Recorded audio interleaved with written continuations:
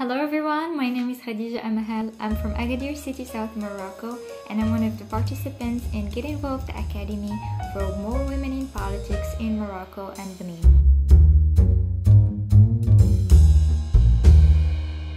Europe is a neighboring continent to Morocco, with which Morocco has built over the years strong partnerships and diplomatic relations in different domains such as culture, education, politics, and economy. The European Union engagement in Morocco did definitely bring change, and I will just talk about my personal experience.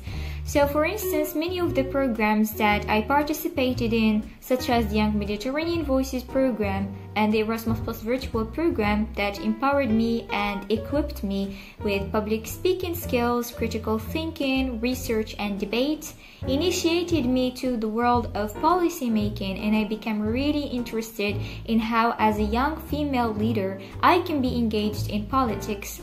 And just this year, I was very lucky to be one of the participants in the Get Involved Academy that encourages more women in politics. I suggest that the European Union continues supporting and also collaborating with Moroccan organizations in order to provide expert and professional training for young women to be more involved in politics.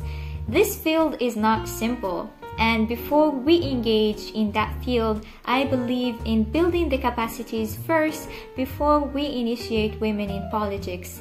I also think that European Union could facilitate providing internships and traineeships for women to live the experience in parliaments and different political domains in order to gain hands-on professional experience. Last but not least, mobility is definitely a challenge for young women I personally found it very challenging so many times to apply for a visa, so maybe facilitating that process would also enable more women and motivate them to be engaged in politics.